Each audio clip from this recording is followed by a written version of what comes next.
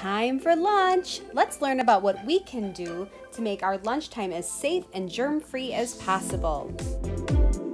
We are going to start a new habit of washing hands before eating so we can all stay healthy. Cold lunchers will walk to the sinks in the cafeteria. You can put your lunchbox on the floor or on the counter. Grab some soap and scrub your hands. While you wait, you can stand on the circle dot on the floor giving your friends enough space.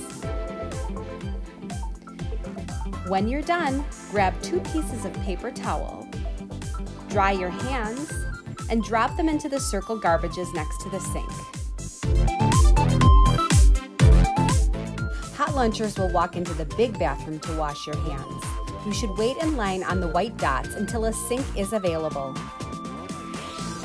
When you wash your hands, you should get one to two pumps of soap and scrub your hands, washing between your fingers and up to your wrists. Then rinse your hands. A good rule is to sing your ABCs in your head to make sure that you get your hands nice and clean.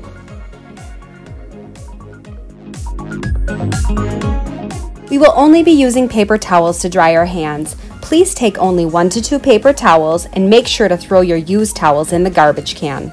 Taking hot lunch, come out of the bathroom and line up at the spot on the floor.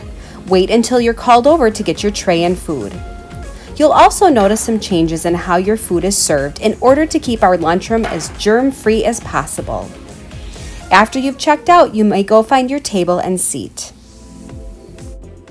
When you're seated, you may take off your masks to eat and talk respectfully to your friends near you. Please use your manners when eating.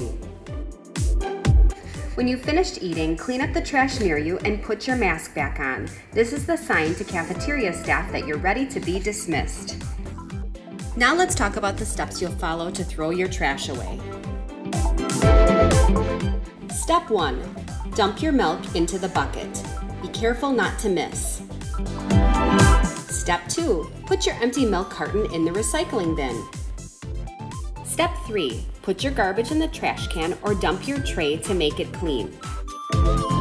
Step 4. Put your tray on the cart. Please stack them neatly. Step 5. Sanitize your hands before going out to recess. Now that we know all the steps, let's watch this in action.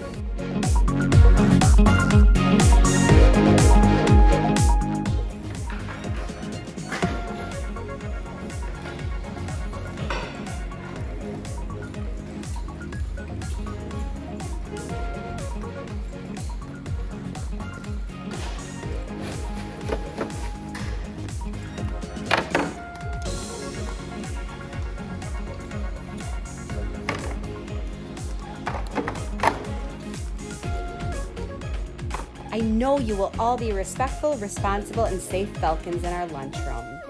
Have a great lunch!